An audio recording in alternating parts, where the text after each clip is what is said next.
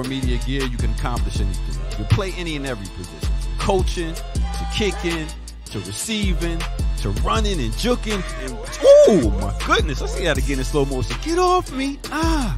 And you're gonna have a lot of haters coming at you, but what you gotta do is you gotta shake them off, shake them off, and get to your goal and accomplish it. And when that's done, it's a beautiful thing. I'm talking about going hard, extra for that extra point. And when it's done beautifully, you talking about touchdown. Oh, and the crowd goes wild and they're celebrating with you and everything. Man, let's see that again. Nice. Black Power Media, baby. That's how we do it. Now go to blackpowermedia.org and get you some of that gear. Empower yourself today. Yeah. I mix what I like, what I like, what I like, what I like.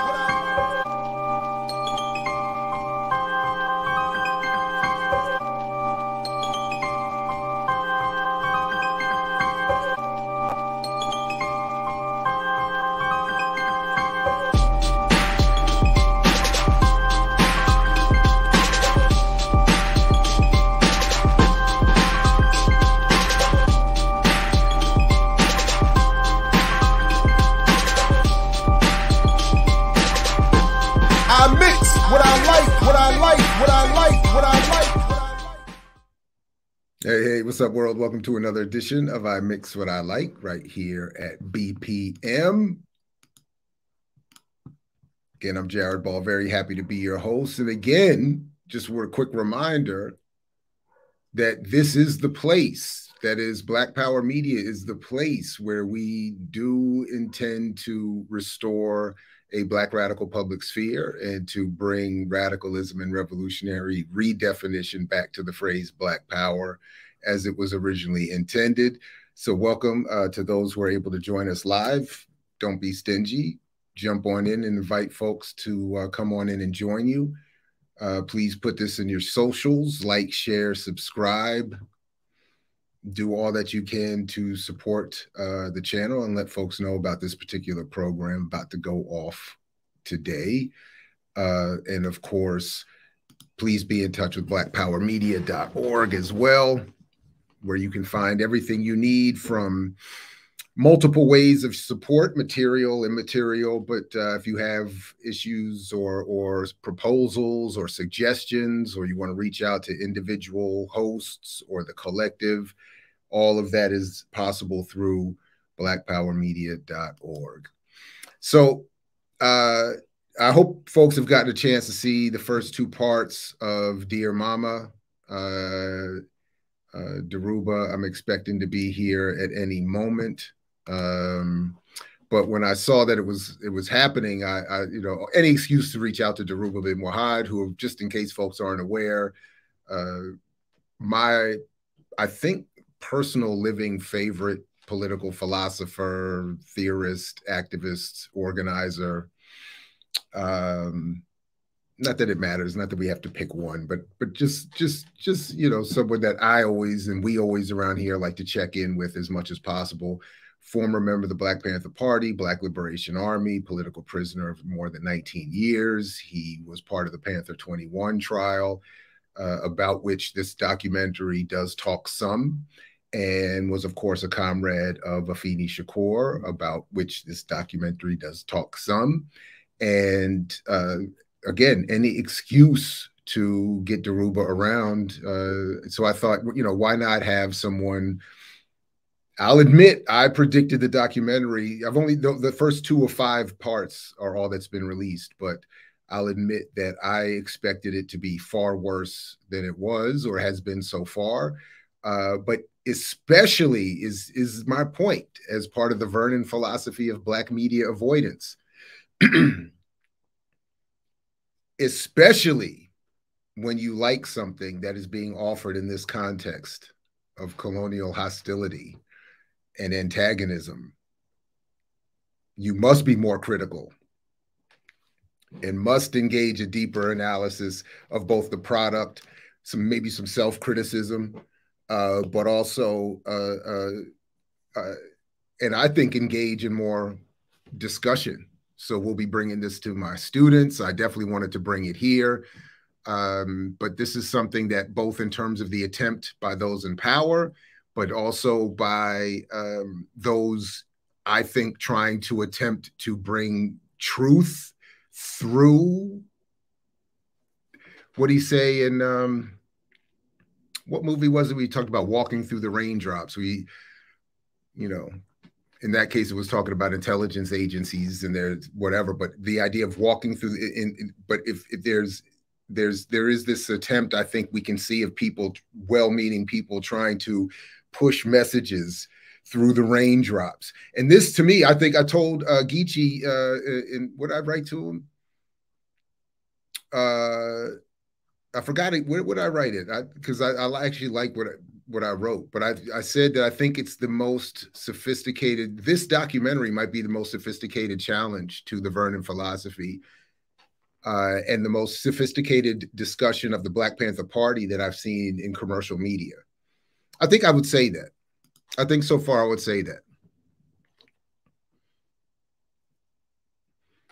So far in these first two episodes, I do. I think we've gotten in terms of commercial media, I'm talking about in terms of like PBS, in terms of like, um, and especially for something that wasn't isn't supposed to be directly about the Panthers. It almost feels in a way kind of like the Ali film with Will Smith, where I felt like you got more of an honest depiction of Malcolm X in that film than you did in Spike Lee's or in so many of these other things.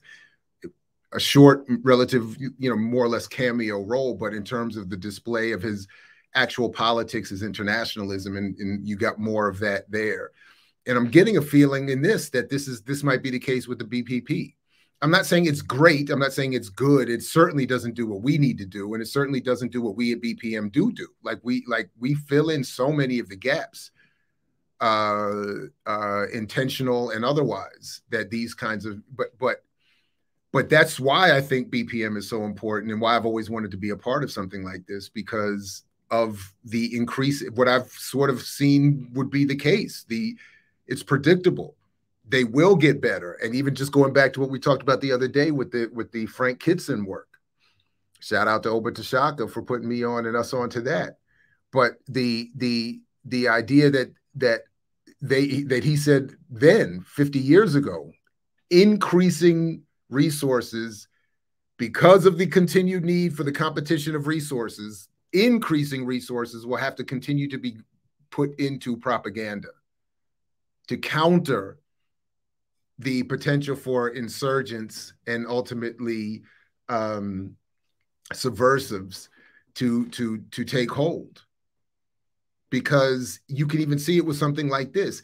If if if if was it Allen Hughes I think one half of the Hughes brothers? If if the Hughes if he had this much more political education and this much less corporate colonial overlording this series might be something one of the pieces that that becomes you know like like a, a digital blood in my eye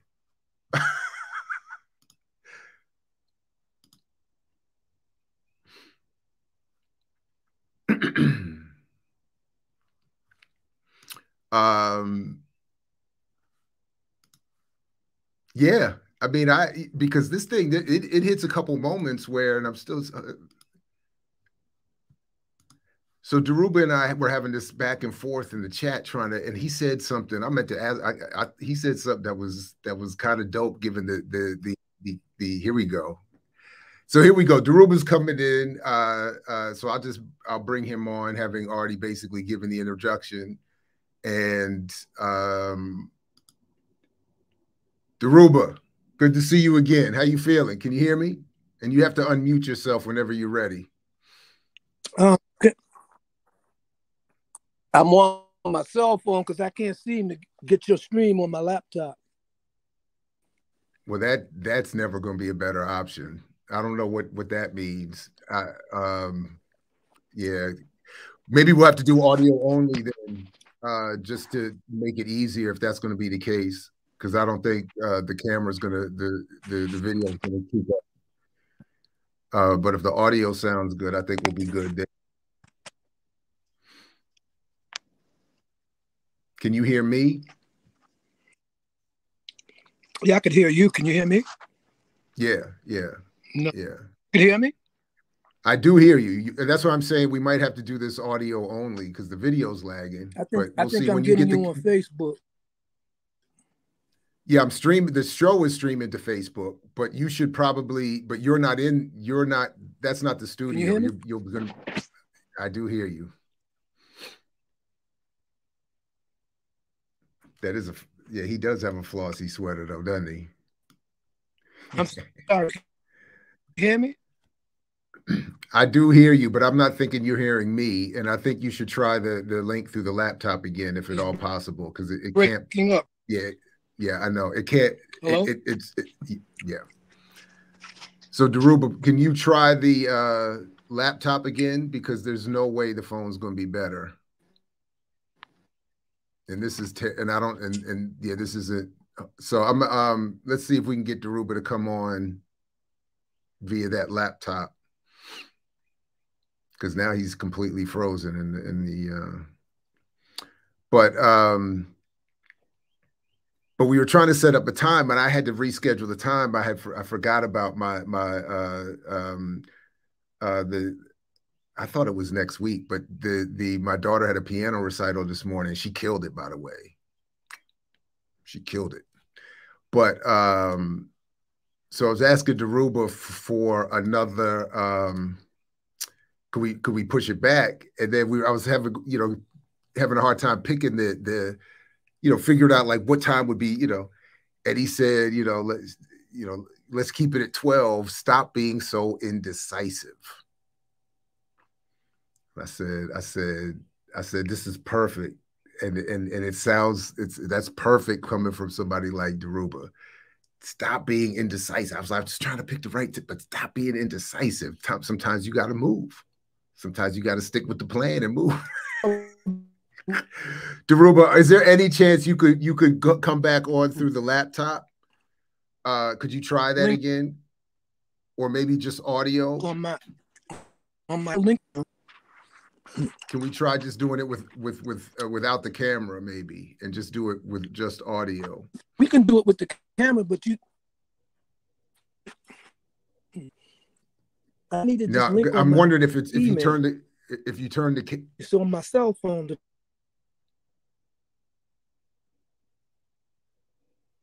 the I mean, I can send the link. You, if you're okay, this is what I think I heard you saying. What I think I, I'm, what I think I heard you saying is you need the link to go to your Gmail, and not through the chat we had. So what I'm going to do is I'm going to send it over there. Uh, see.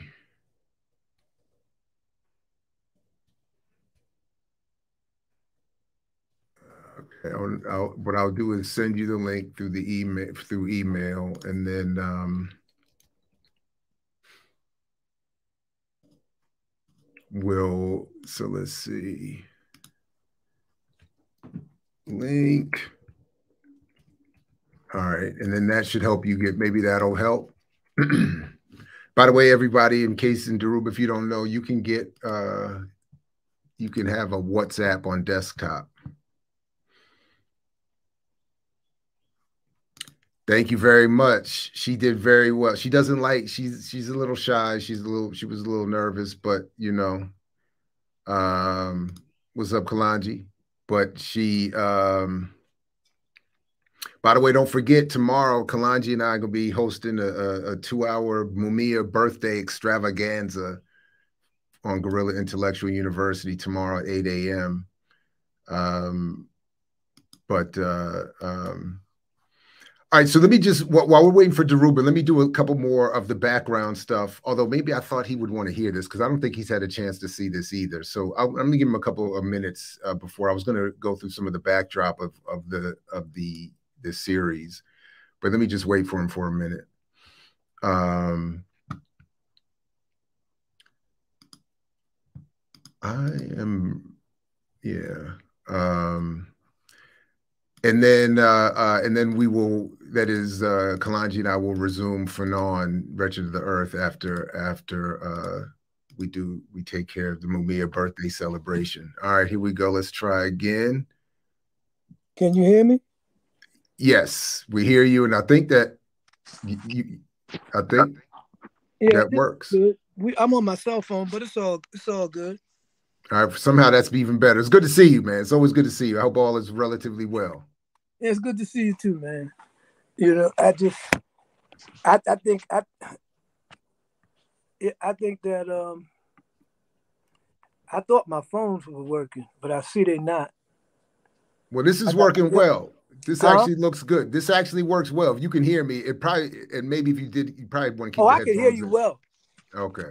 All right. Wait, oh man, don't don't don't you Don't had it good, nothing, man. right? Yeah, you you now we're looking at the ceiling.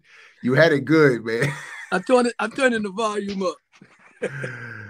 All right, good, good. There we go. Um, so I did some of the the introductory stuff. I was just, you know, yeah, absolutely. Warrior salute, all of that good stuff. Uh, really appreciate you, Dhoruba. Um, and uh, uh, as I was saying, any excuse to to reach out to you, uh, I'm always looking for. So when I saw this was coming, I said, man, let me try to let's let's let's try to work this work around this a little bit. So if you like, I could say a couple things about the the the the series or the documentary. Uh, and but we've already talked about. I have the the sort of the the, the initial big question to ask you to get things started. But uh, um, uh, let me know how that works for you, if that's cool, or if you want to just jump in and say something off the top. No, I didn't watch it, so I have nothing to say. Okay. Well, just yeah, okay. Um, so just so just a couple things. Uh, um, from one story, just a, a little bit of background. Uh, the film is is put together by one and a half of the the the famous Hughes brothers. For folks maybe remember from my generation, uh, light skinned twins who were involved with a lot of black films and video making and Menace to Society, et cetera, and so forth. The Book of Eli and uh, uh, a number of other things. Um, and of course, it, it was odd, and they talk a little bit about this in the in the documentary. They talk in, in episode two. They pause for a minute to talk about this, but it, you know, some of us will remember that Pac uh, and more more notably, ten of his homeboys beat down Allen Hughes um, over the the beef they were having over the film Menace to Society and what was supposed to have been Pac's role in that movie.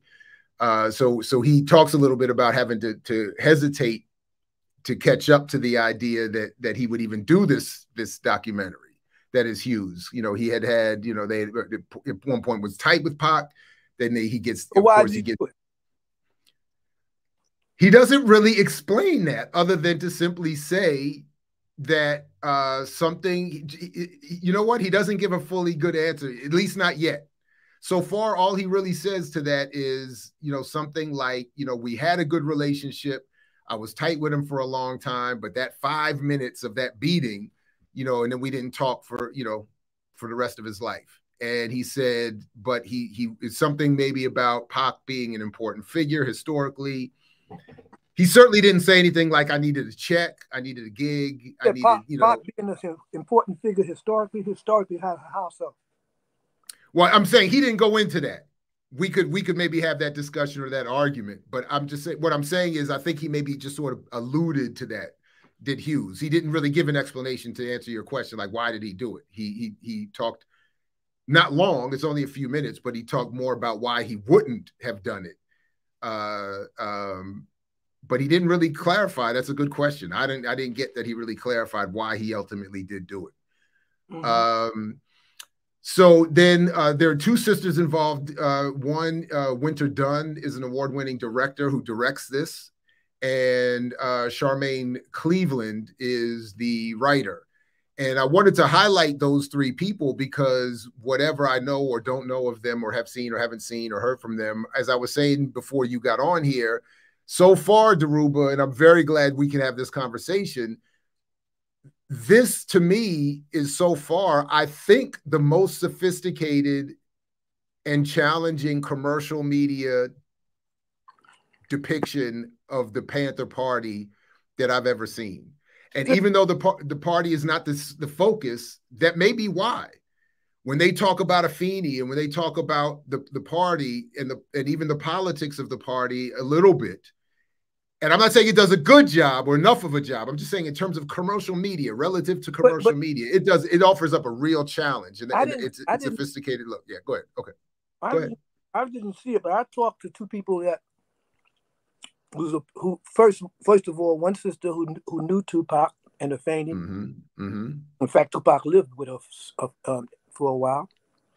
You know, I knew Afeni very well, Mm-hmm. um, and I know about her relationship in the party. Mm-hmm. And I have my views about that. Of course, we could talk about those things, those experiences. But um, one of the things uh, the sister noted was that when she watched it, she realized she wasn't watching a documentary; she was watching a movie. That's interesting. And Did- when I and, and, and as I passed by my um my coach, uh, Oh, damn. He got a call and took him off the thing. So just to be clear, I- okay, go ahead. You back? yeah, she mentioned she mentioned yeah that was that was somebody calling me. I know you're gonna have to you you might wanna you might want to put your phone on do not disturb if you get a chance because it's probably gonna keep happening. Every time they call, Yeah, that's, that's probably because that's probably because the brothers downstairs waiting. Are you supposed to be going somewhere? No, I'm going. I ain't going nowhere till we finish. Okay. okay. I ain't going nowhere. I ain't going nowhere. Okay. I ain't no. I ain't going nowhere till the bald headed host tell me it's okay. okay. All right. Okay. So, so I think you got the hint. Uh, anyway, okay. All right. so so so anyway, so so what I'm saying is I passed by while the sister was watching it, and and so I got a couple of her uh, initial impressions. But why did she say she thought it was a movie? Could you did she say more about that? I'm interested to hear more. I know why what, what she. the- I, I know why she could say it was a movie. And that's the very reason why I didn't want to watch it. okay.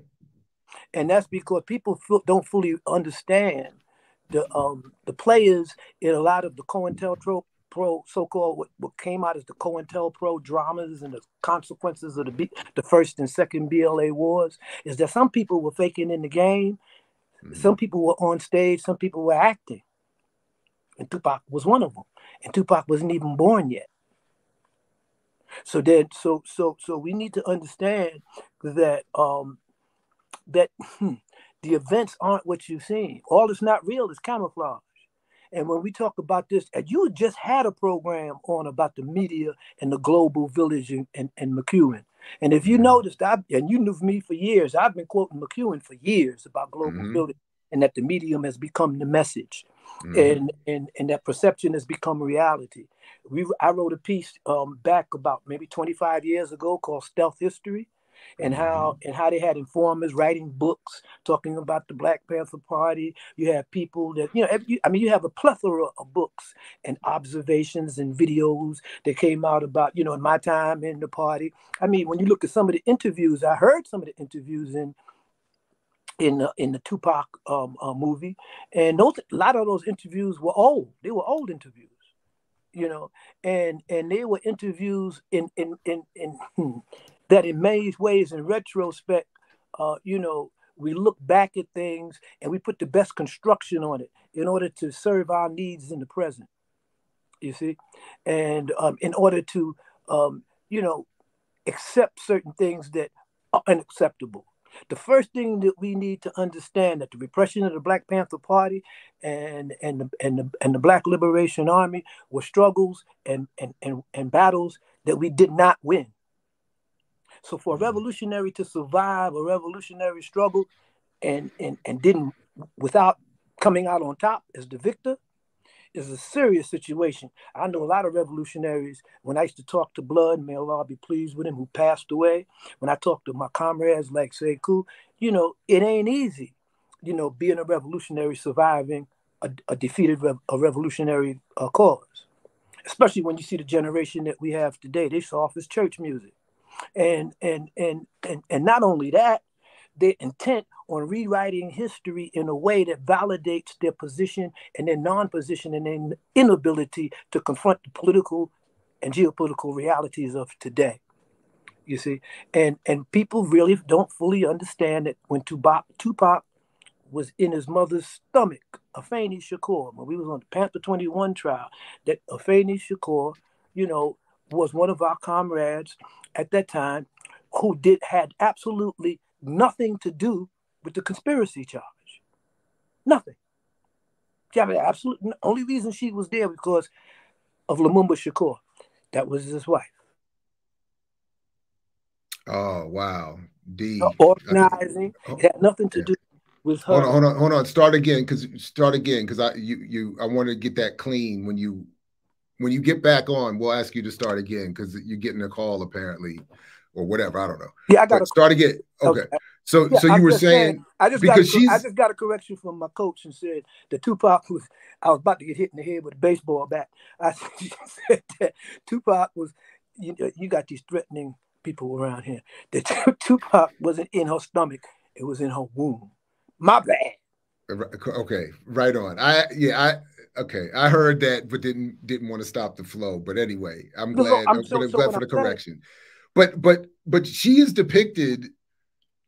So that's interesting. You would say it that way. She is she is very much depicted in this series so far as as far more than. And I'm not saying you meant to do it this way. We're doing it this way, but she's not depicted as just being Lumumba's wife. She's depicted as very much being in the leadership, being being very much um, uh, um, involved in running things. They talk about when the New York chapter was decimated that she picked up a lot of the pieces and, and held it together more as much as, as anyone um even as as as they passingly and this is what i don't like they did this again they passingly let it just go that that huey was out of jail and crazy is how they depicted it Uh, Let me say and i'm not and i'm not saying that, sorry go ahead go ahead go ahead go ahead I know I know my comrades, the ones that's still alive.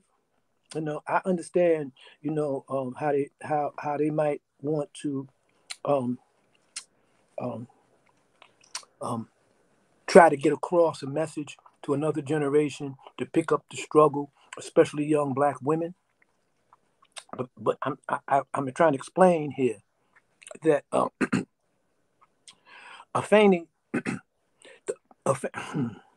when the Panther 21 was were, were, were, arrested on April, I think it was April 1st, April 2nd, 1969. They they raided all of our houses and they brought us all downtown in separate, you know, they raided all of the places. And the only one that, that escaped was Sekou. He escaped and ultimately wound up in North Africa with the um, Black Panther Party's uh, um, consulate there in Algeria. Okay, that was Sekou Odinga. He was the only one to escape. Okay, and all of us were busted, including the Faney. and Afeni was was arrested in Lumumba Shakur's house apartment. Hmm? If you look at the Panther 21 indictment, um, in terms of conspiracy and overt acts, I don't think you see Afeni Shakur mentioned at all as being a co-conspirator in the act. She was busted with us, and there was paraphernalia that was taken from Lumumba's uh, apartment. Harmless paraphernalia, African memorabilia, a sword on the wall, and all of this stuff, because they really found very few weapons when they arrested us. All of the explosives and stuff that they claimed that, that we had to order to initiate these bombings on the Easter holidays was all bogus. It was it was planted by a NYPD informer in the Bronx, um, at you know, who who had a relationship with Lumumba, uh, uh, um, you know, a trusted relationship. He was a he was an NYPD undercover agent, uh, Ralph White. They called him Yedwa Sudan. He was an undercover police detective, and he's the one that put the um, the the the the false dynamite into a, a tenants organization office and stashed it. And so they used that as a pretext to say that we was this was a conspiracy. But getting to Afeni, Afeni was scooped up along with Jamal, along with Shaba Om, both of who were in the uh, movie. I'm told. Uh, uh, Jamal Joseph uh, was 15 years old, or 16, or something like that. So was Shaba. So they didn't they didn't stand trial, and they were put on. Uh, they were put in um, on Rikers Island as youthful as you as youth. They were separated from us.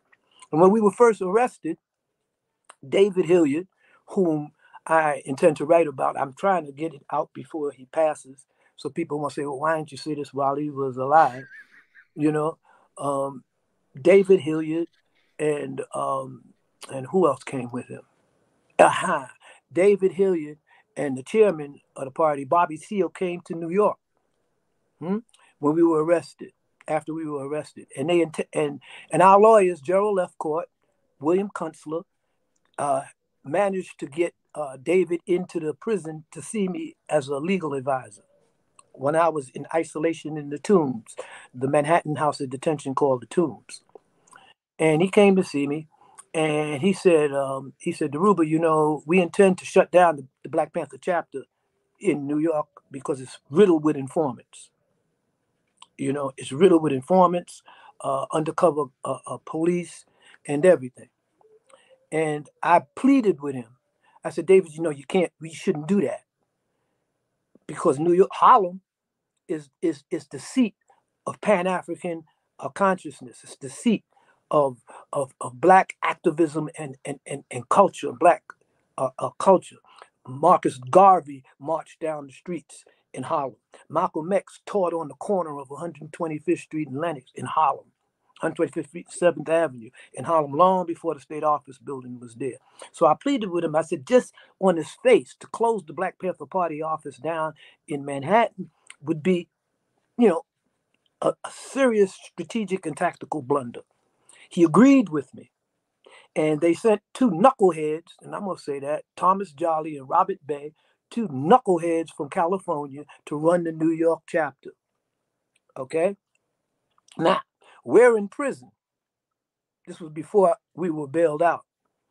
Um, because I was the field secretary at that time, the Central Committee and Huey and them uh, uh, thought that I should get bailed out first, you know, in order to speak and all of this stuff. We all had the same bail, 100,000. But I believe maybe a Afeni might have had 50,000. My memory doesn't really um, say that she didn't, um, but I think she might have had 50,000 or whatever. I don't think they make that claim. I don't think they. I think they left it at a hundred thousand according to the series. I don't recall them making a distinction, but they did speci- specify that it was a hundred thousand at least initially. But anyway, go ahead. Yeah. Yeah. So we sat down as a collective in the prison because the lawyers. The only time we could get together is when they called for. We had to go to the court. We were all separated in different houses of detention in New York initially. So the lawyers had to make motions in the court so that we could all meet at one time so that they could prepare the case. Okay.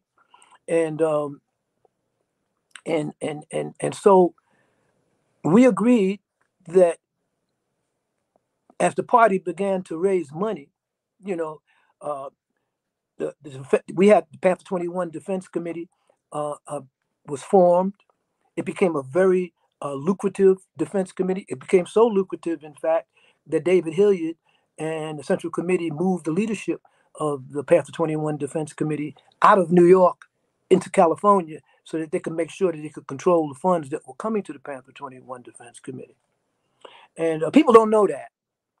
Huh? And so that led to a lot of animosity with the brothers and sisters, the brothers that were in prison because they felt they were they were being sidelined uh, uh, by the by the by the Central Committee, and they were from California and all of this stuff, which we're going to get into later about California and about the New York uh, Panther Party in the West Coast.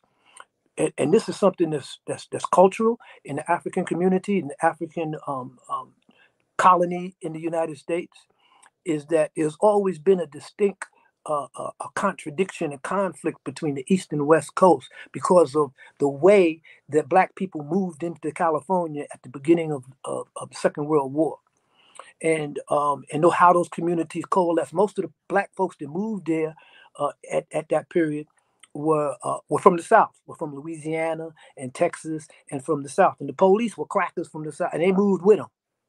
Huh?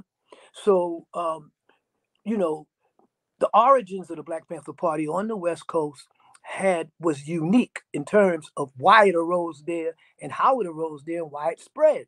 Of course, which I'm going to go into in my in my bio uh, story. I don't call it a, biogra- a, a biography because it's the story of my generation and not just me. You see, I'm, I believe I'm a product of my generation, and I don't believe I'm self-made in that respect. So have, I, I'm digressing. So what I'm trying to say is we got together when we when we were raising the money churches came forward and put up bail money and everything. So we said, well, how is this going to be spent? How how's it going to be dealt with? The party, the Central Committee agreed that I should come out first. And we agreed in Panther 21 amongst ourselves that that the two sisters should get out first. Joan Bird and Afeni Shakur. Why? Because Afeni was articulate. Afeni did have a, a, a, a, um, people skills. She, she she could get people to identify more with our cause because you know we were painted into the corner as agents of of, of, of Cuban violent revo- revolution. Go back and look at the period. We were we were in the editorial pages in the New York Times. The, uh, Those two points very quickly they do not make in the series. They they make no mention of the threat that you pose in, in relation to Cuba, and they make they don't mention. I don't believe they mention Joan Bird's name at all. Just to Mm. quickly point that out. well, Joan Bird is the only one that actually that was actually named in the indictment for having done something. Because it was Joan Bird who was arrested when Sekou Odinga escaped Hmm. um, from, um, from, I believe it was uh, Morningside Heights or um, up on the um, uh, west side by the river. They claimed that we were going to, we were trying to ambush the police across the river. At, Okay, they did. I was wrong. Apparently, they did mention her name. Okay, my apologies. hmm And so, so we agreed that if there was a hundred thousand, because the sisters' bail, I believe, was fifty thousand. So we agreed that they should try to get out first, right? So that's what we did. We agreed to that, and and the central committee went along, and so Afeni did get out first.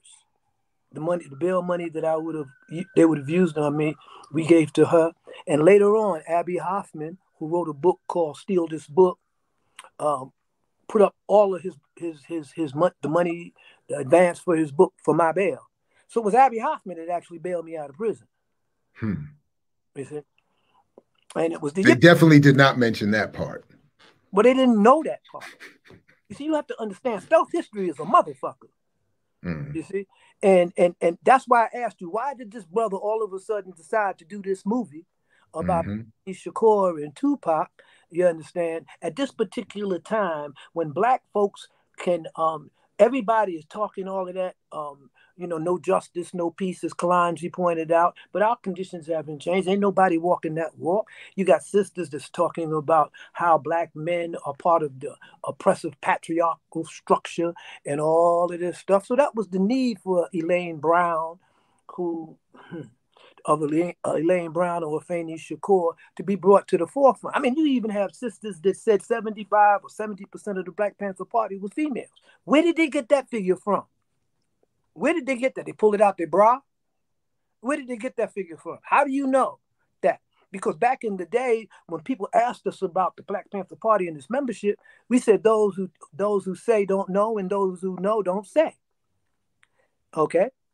Because the, the majority, and if you look at all the political prisoners, if you look at all the political cases of the Black Panther of, of Black Panther Party members, how many of those indictments were, were, were, were female only? How many? Seventy-five percent. If if if if seven out of every ten members in the Black Panther Party was female, how did the repression just wind up on males? Mhm. It's a total it's a total reassessment of history in order to put uh, certain things ahead of reality. That's not to say that the sisters in the party weren't our comrades and didn't constitute a large percentage of the party. They did okay? But there's certain work in the party you could call it sexism or patriarchy or whatever. There's certain types of work whether it was security whether it was how, how we sold papers uh, et cetera et cetera um, that that determined that determined you know who did what you see and like you say you know um i know on the on the on the um in the movie or i would i was told that you know afeni was portrayed as a section leader in the black Mhm. yeah she was a harlem section leader so i said okay cool you Oh, they blowing up the phone. Hold on, say that again. Say that part again. You because we didn't hear. it. Yeah, she was. She I, honestly, off the top of my head, I don't remember if they called her specifically a section leader or what title, but they it was made very clear that she was very much in the leadership. Uh, well, it was, it was after she was bailed out. We were right. we got her out of jail that she had to speak for Mhm. the party. So she traveled to universities. She traveled around speaking for the political prisoners, speaking for her comrades in prison. And and and in that sense, she had to take a leadership role. You see, um, one of the main, one of the most um, sterling section female section leaders in the Black Panther Party at that time out of New York was uh, Diane Jenkins. She was the section. She ran the Brooklyn uh, branch of the Black Panther Party. That Abdul um, Abdul Majid and um, and and other comrades were subordinate to her. Okay, so having a female section leader is not a big deal. But what we do is we enhance history based on ignorance or based on wanting to raise people to a certain level that they really weren't at because we need heroes and sheroes in our history. We need that. And it's not it's not it's not cool and it's not necessary to break them down. It's not necessary to to show their weaknesses because we all got weaknesses and and and and, and made mistakes. You see what I'm saying? But the thing is, is that certain people capitalize on these weaknesses and translate them into uh, um, virtues as if these weaknesses were what led the party. These weaknesses is what made this person the leader. That's not true. It's the and and and if you understand anything about the Panther 21 trial, if you notice when Cetewayo, Jamal, and myself, when we did not appear for court in court, um, they put everybody back in jail that was that was in court. They put a Afeni back in jail and everything. And and so the Panther 21 that were in jail, uh, Lumumba Shakur, Kwando Kinshasa, and all of these brothers that were in jail, they felt that they were abandoned by by myself and and everything. And and but they didn't understand nothing about COINTELPRO. They didn't understand nothing about the contracts that were put on our heads by the knuckleheads from the West Coast. They didn't understand anything about um, about how we would react to their attitude towards that. Because if you remember, if you know the history, you remember the Panther 21 released a statement that broke that was the straw that broke the camel's back in the split of the Black Panther Party. They released a statement saying that the Weather Underground white kids were now the revolutionary leadership in America and not the Black Panther Party. And I begged them not to do that.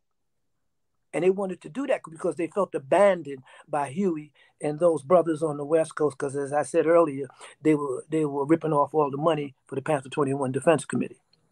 So so the series, just very quickly, the series they don't make it nearly as plain as you just did. They don't they they um uh only passingly mention your name and not in reference to to that specific point you were just making.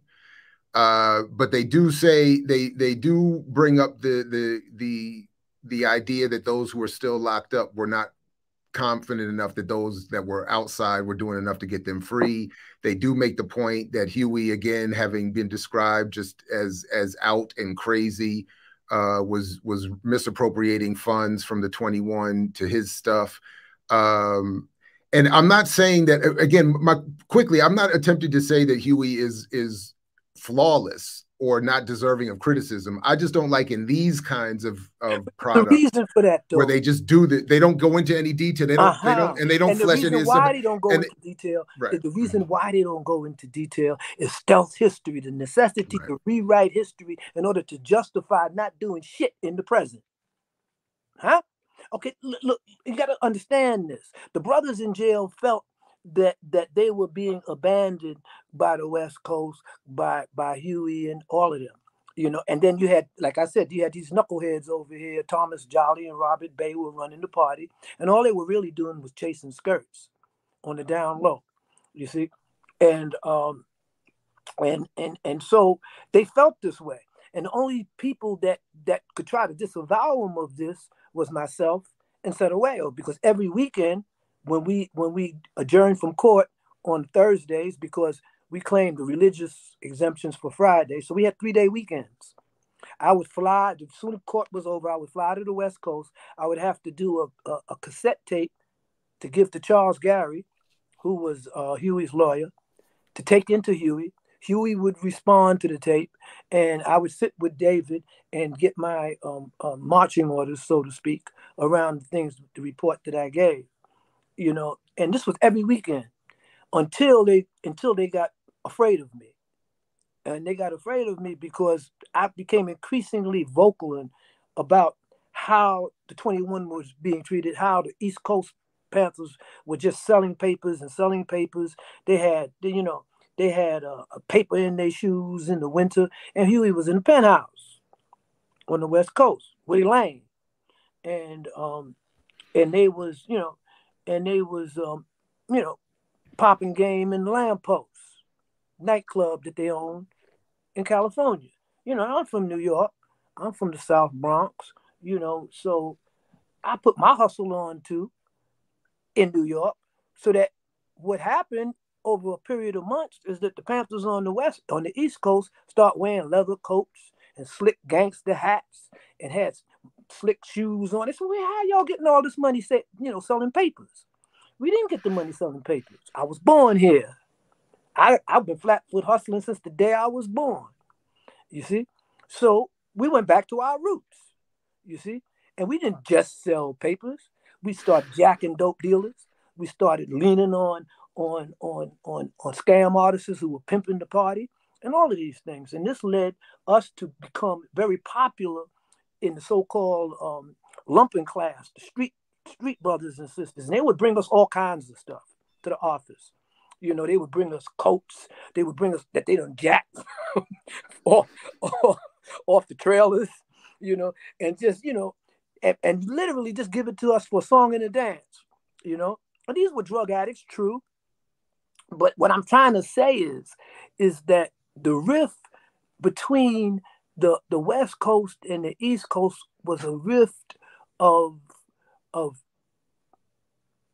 of socio hmm, socioeconomic adjustment. It, it, there was a complete difference, and and and and the brothers on the West Coast that started the party, they really had no no Pan African consciousness or even black self identity. They were mm. responding to the vicious, racist police in California. And they were responding with the, their right to defend themselves. And that's what in, in our, in, enabled me to, to, to, to look at the Black Panther Party and say, well, when I got out of prison, that's what I was going to do. That's where I wanted to be because they took this uncompromising stand against these bullies in blue costumes. And if I anything, I hate bullies. And I always hated them bullies in blue costumes in South Bronx because I grew up with them. I grew up getting beat in the head, thrown in, the, in, in Fort Apache basement. I grew up with them crackers, huh? With, and, and Negroes. The biggest cop on the on our corner, the most vicious cop was cop called Two Dollar Brown. Yeah, big old black bubble looking Negro. You understand? He used to bully us all the time until we threw an ash can from the fifth floor apartment building down on that nigga's head, and uh, that stopped that. You see, and but what I'm trying to get at here is that there's a different. There was always this difference between the cultural and political and and black identity of the East Coast and and and the lack thereof on the West Coast. In fact, they used to call us all pork chop nationalists because we had African names. They lumped us all together with, with Mama Lama Ron Karenga, that snitch ass, bald head mother. Anyway, they, they lumped us all together with him. I know I'm supposed to be forgiving in my old age. I ain't supposed to be bitter, but I'm I'm I'm I'm, I'm cross as two sticks and bitter as quinine. So uh, I ain't gonna forget shit. So anyway, having said that, what I'm trying to say is that um, the difference, the dichotomy between East and West Coast was reflected in Black culture and was reflected in Black political consciousness. This is why you see that the first confrontation that the Panthers had on the, on the East Coast were with cultural nationalists. Huh? Was with brothers, if you remember the Betty Shabazz episode, you know, the cultural nationalists showed up with empty guns, not the Panthers. They were on stage. They were, you know, they were fronting Hmm? That's what I said. There's certain people who were for real and certain people who were just acting at, at, at, at the time. And you could always tell who, for, who was for real when the shooting started and who was acting. The stage cleared quick. when the shooting started. By the way, the series starts by pointing, making this point in terms of Pac's realness by talking. It opens up by talking about the time he shot three or two cops in Atlanta in the butt, uh, uh, um, and how he he got down on one knee as they were trying to run away, and he drew that pistol, and pop, pop, pop, like a like a trained, like like a trained whatever they were describing. Oh, what- what- Um, what and the point so I- I forgot the what was it 93 I want to say. So so again, now if people his name was mentioned in the chat, John Potash's version of this and the the the, the argument he brings to this is very different than we get in the series. His argument is is more in line with the COINTELPRO operation that was being attempted on Pac at that time, which is how you would he he uh, over I'm oversimplifying, but this is how Potash explains how you could get away with shooting two cops uh, and not doing any time. who, um, who, be- who shot two cops? Pac, Tupac. So he two oh, undercover where- cops. where- where- he shot two cops where? in Atlanta in in 1993 I want to say was the year and the the and and I don't remember the details and the, the series doesn't go into it very much which I thought was interesting because if you do get get John Potash's version the the it, it involves um, this being part of a series of attempts by the state going back to early in Pac's life and career to to uh, uh, attack him in extension to the work that had been done against his mother, against you, and everybody else. So so that this was an operation where where two undercover cops get involved in trying to shoot Pac. He gets one of their guns. This part is not explained in the series. They don't tell all this yet um, he gets one of their guns, and as they try to run away, he pulls the gun. And and while and the the the, the, the brother telling the story in the series says none of us wanted to give Pac the gun as the cops were leaving. We wanted to let it let them go away, but but this is how real they're setting us up to understand Pac to be. So they said Pac gets the gun himself, gets out, gets on one knee as you would, you know, trained with a pistol in that way, blah blah blah. He get he hits the cops they show them limping off coming out of the hospital later which was kind of funny but but the the the um point is is that was i'm just sharing that to say that this is how the series opens up by telling us to trying to make a, a, a point that i think you're making maybe not the same point but that this is how real this is how we should know that Pac is real that he was not acting Well, well, I don't, I don't know nothing about that. Yeah i'm just sharing with you i'm just trying to fill in I- some of the gaps I- as we talk yeah I can't comment on that episode, the veracity or non-veracity of it. I don't even know if it happened. I don't know anything about that. And Oh, it, it did that part. I'm, I, it, I'm that had happened. I don't think is questionable. The the circumstances surrounding why and how he got away with it, I think, is still up for discussion. but if- that did that incident did occur. you, you're saying that these were two undercover cops? Yes, they were they were out of uniform at the time at at that this incident. So again, the series doesn't explain this, and I do not remember how Potash breaks it all down. He has a very detailed explanation for this. Um, but but all we get reminded of in the series is that, and if anyone in the chat, I'll come back later. You can correct me if I'm misremembering any of this. But the that all we get in the series so far is that these two undercover cops, because it, it, it, especially from the opening of the series, we're being invited, we're being told this story as it's happening by one of the uh, apparent eyewitnesses, and and and they've pulled him over, they've they've attempted to set him up to kill him. It it doesn't work. They're running away. He shoots and hits them both Okay, in so the butt and the leg and something two- like these that. were these were two undercover uh, uh, uh, uh, police. I imagine they're black. Nope, two white, both white.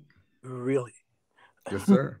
So he shot. So so he's supposed to have um, um, shot two undercover white cops who were trying to set him up or kill him or whatever. Now, Potash, Potash says, if I remember correctly, Potash's reason, the reason he explains this doesn't get exposed and Pac gets away with it is because the gun he gets from them that he uses to shoot them could be connected to another murder that would have then exposed these cops have been involved in all kinds of dirty Okay, setting so things you- up. So that's how he explains something like that is how So, so, Potash so, explains. this, so, so the, the rationale is that they tried to kill him. He took managed And Kalonji, he, ma- he took the gun from one of them, and he shot this cop. And the reason why nothing really became of it is because the cop had a gun that was involved in the murder of somebody else. That he that, something like that. Potash. I'm, I'm trying to remember very quickly it's because none of this is discussed in the series. Is my point. They don't they don't explain any of this.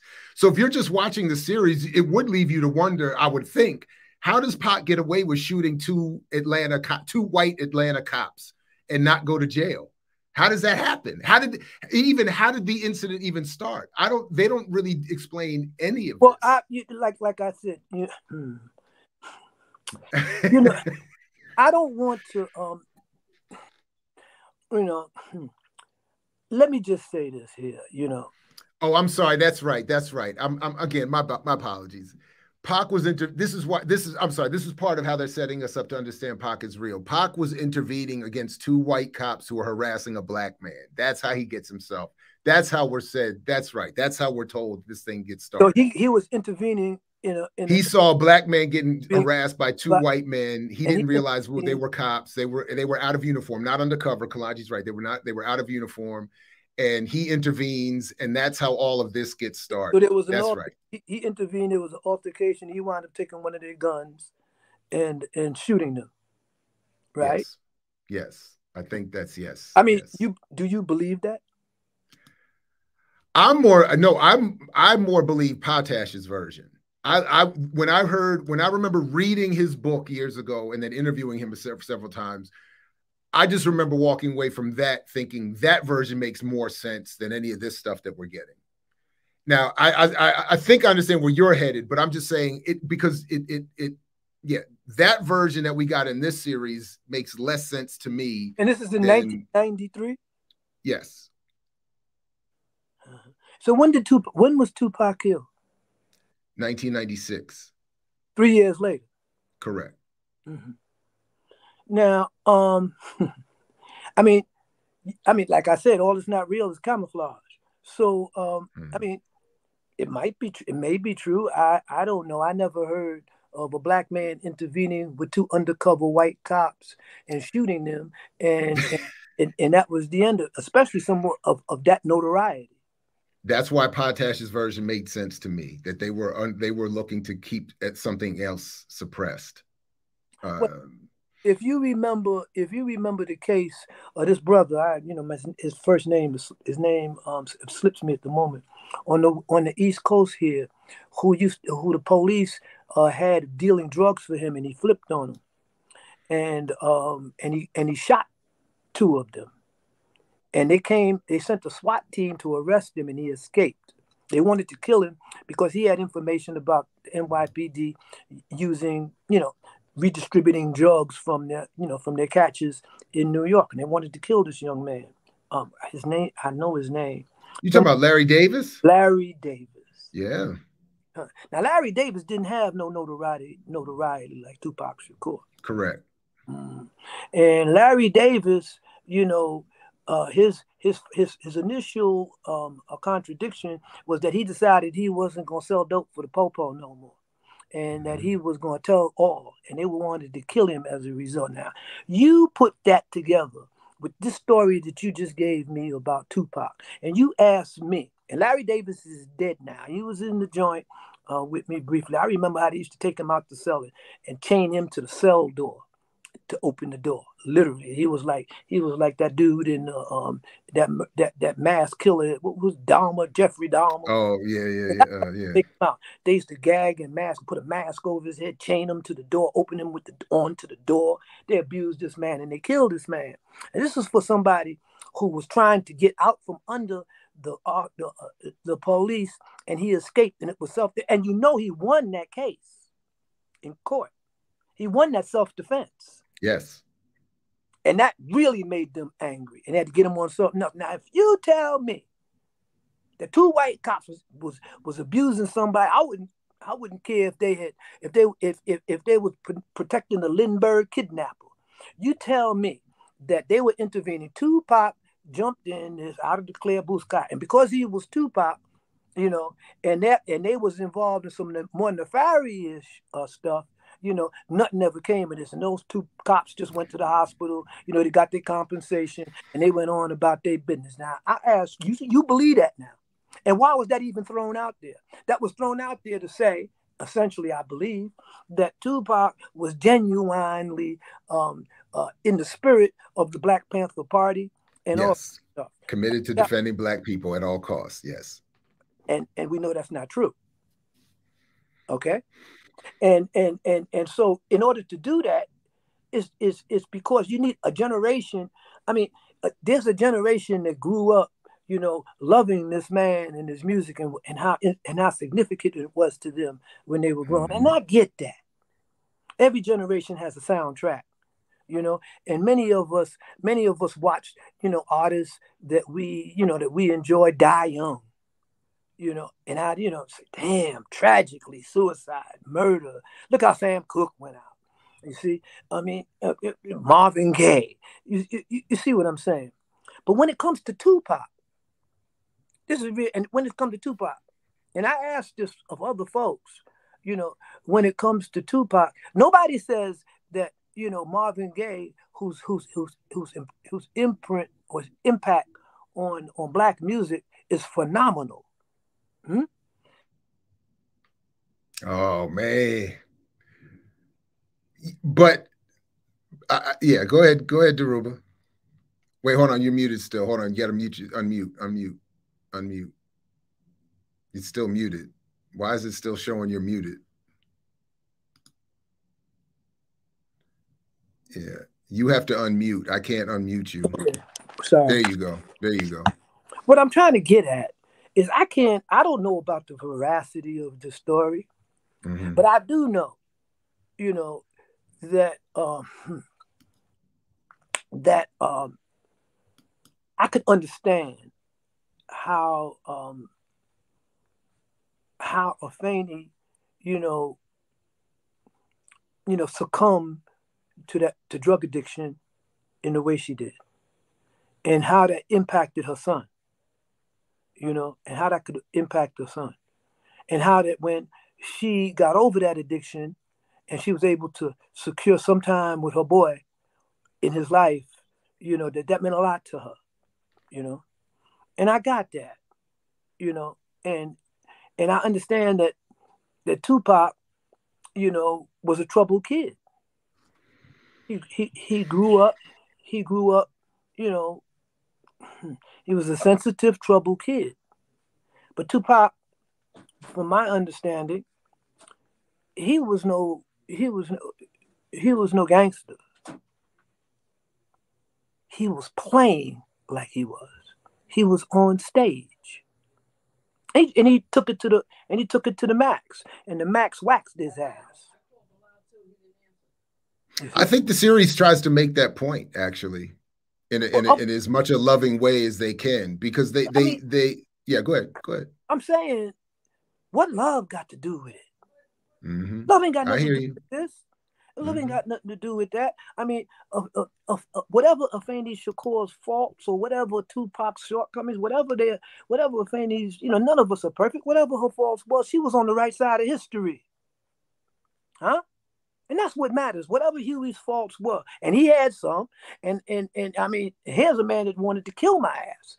So so, you know, whatever they were, Huey P. Newton was on the right side of history. And you can never take that away from him.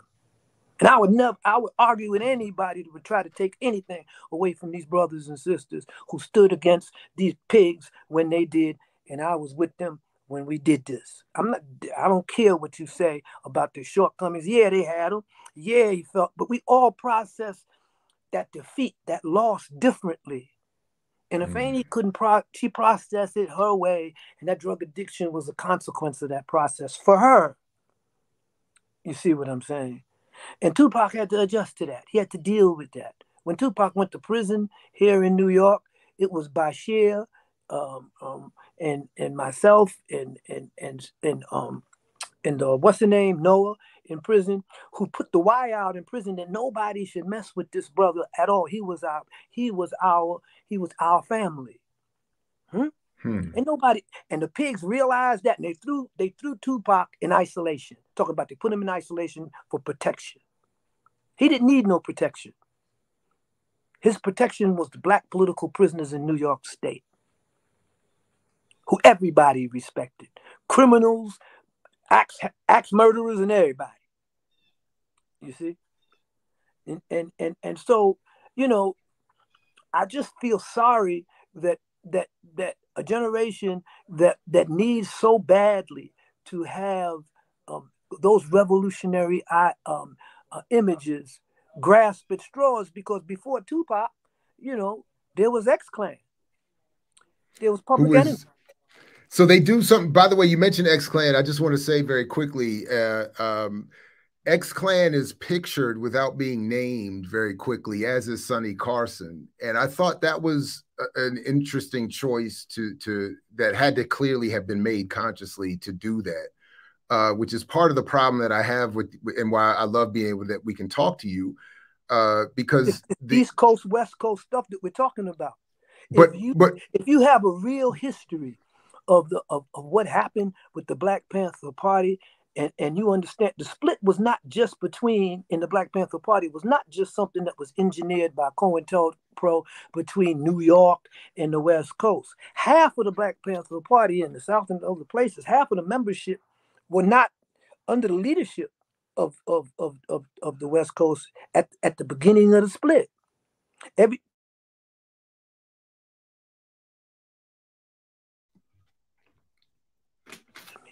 people have to be. Somebody tell David Hilliard to stop blowing up your phone during this conversation. that, was, that wasn't David. I know.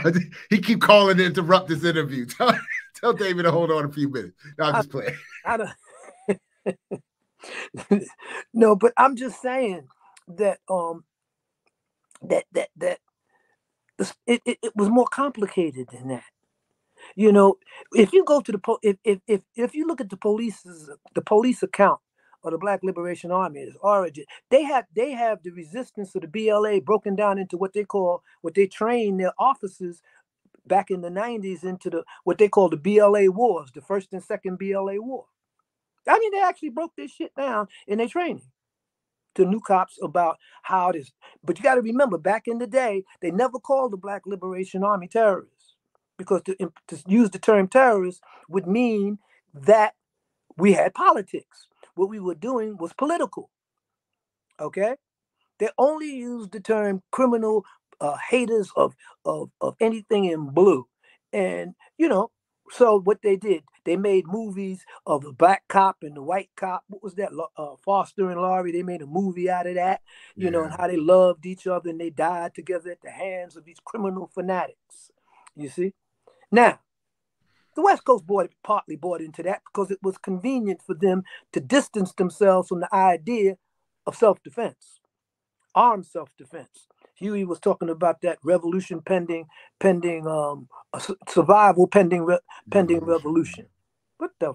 What's that? Huh? Back in the bullwhip days, what was he saying? Survival pending emancipation.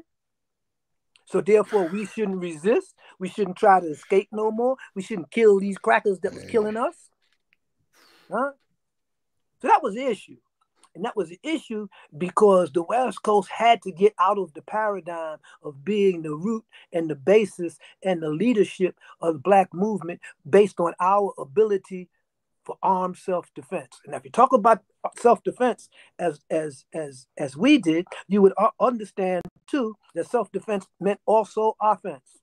There's no such thing as as self-defense without a good offense. Hmm?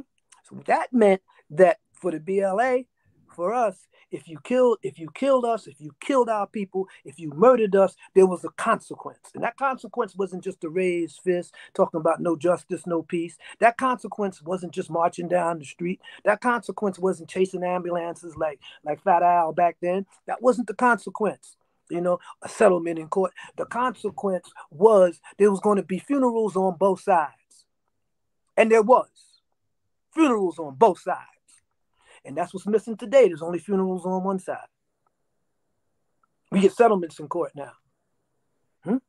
We get multi-million dollar settlements, and the beat goes on, and and and and, and the notion that you could reform police in America still persists. This, th- these are the armed agents of the state, just like the military. They're the armed agents of the state. Let that sink in. Armed agents of the state. They are not workers. They are not amenable, amenable to reform. They have their own culture. They have their own. Be- they look at the community as them against us. That's how the police think, because they're armed agents of the state, and they got to think that way. How are they going to break up working class strikes? How are they going to beat up working class people and poor people if they don't see themselves as an authority over and above those people they're beating up? Hmm? So when we talk about decentralization of police, when the Black Panther Party talked about it, we wasn't just talking about um, changing. I'm coming in too. Um, he should be here shortly. Yeah, he's on the phone. Yeah, tell him he could go. It too. Yeah. Yeah. I'm sorry. I'm sorry. No, it's all good. It's all good. So, so what It's I'm saying good. is, and I know, I know, I may sound, I may sound like a blast from the past or some archaic, bitter Negro over here. You understand? But I firmly believe, and history has shown that that white supremacy is not going to go away. It's not going to be reformed until you overthrow it and destroy it, smash it up for eternity. And this is why NATO is in Africa. This is why you have the wars. You have America at war with people of color and supporting all of these reactionary authoritarian regimes is because they don't want to give up that control and, and, and, and the system of white supremacy that they created worldwide. So now when we talk about somebody like Tupac, um, who was born into a white supremacist construct in which his mother was a member of an organization that advocated black self-defense and the dialectics of black self-defense. Remember, all of those people that were talking on the in the interviews were talking about how political education in the Black Panther Party was mandatory, right? They were talking about, I mean, you had Jamal talking about how he first joined the party. He was given a whole bunch of books to read. He thought he was going to get a gun, you know, Yep. all of this stuff. That's what he said. Okay. Then you had Shaba talking about, uh, uh, um, uh, uh, um, you know, how we used to read Mao. What was one of the first things that we understood in Mao? Ask any of them. Not we didn't understand one of the first things was to feed the kids was to feed uh, uh, the children breakfast, huh? If anybody fed our kids breakfast before school, they would have took it. Didn't have to be the Black Panther Party. It's the same way on the West Coast. People were hungry. People didn't have nothing, huh? If anybody would have came along and did that, you know, if if you know, if if the Tooth Fairy would have came along and was giving breakfast to, to our kids, they would have took it. You see, so there was nothing revolutionary about the breakfast program. Hmm? There was nothing revolutionary about the 10 point program. The 10 point program is just as relevant today as it was yesterday. Go read it. Huh? We got black faces in high places right now. We got more black people in positions of power than we ever had in our history. And then when a black man gets killed in most of these cities, who's the police chief? A black man. Who's the mayor? A black woman or a black man. Who's the DA? A black man or a black woman. Who's the lawyer representing the aggrieved family? A black man who ain't never won a case, but he get plenty settlements. That's a win. Yeah, so money, money, money talks, bullshit walks. I get it. You see? But don't make like, you know, the essence of the Black Panther Party's program and self-defense was an understanding of the state that political power grows out the barrel of a gun. So that's why I keep saying that that these films are these eh, eh, these these documentaries, and I and I do want to come back to that question of of your comrade seeing this more as a film than a documentary, because to me the fact that it's displayed or presented as a documentary adds to the level of sophistication that I'm saying is becoming more of a problem, because it's it's I mean it's so well produced everybody looks and sounds good. Everything is is well shot. The scenes everybody's in are, are perfect. Everything is the editing is immaculate, Dhoruba. I mean, this shit is some this shit is That's this why- shit is That's why I told you it. That's why I told you I didn't want to see it, and that's why you noticed I wasn't in it. and that well, that was my next question. Did you why didn't they get well, I didn't say why, but I was gonna ask, did you get a call? They didn't call you? They- they- Bro, listen. because they do something slick. I mean, you do like somebody in the chat pointed out that it was actually made four years ago and it took them this long, whatever. Yeah, to that's what I-. I told. Right. what- Yeah. what I told Tanika here. because I you see blood is still in there but but but they don't talk about the BLA. They just have one clip of him saying something like passingly, like only a few of us were silly enough to get involved with the guns, almost to counter the point you're making here. They make mm-hmm. it seem like it was No. the silly lunatics Yeah, in the yeah, party the that, that did all of that. fringe. It was the lunatic mm-hmm. fringe that understood that white folks wasn't going to stop killing us until there was funerals on both sides, and that police brutality was not an exception; it was the rule. The police are doing their job when they terrorize and beat us and kill us. That's their job.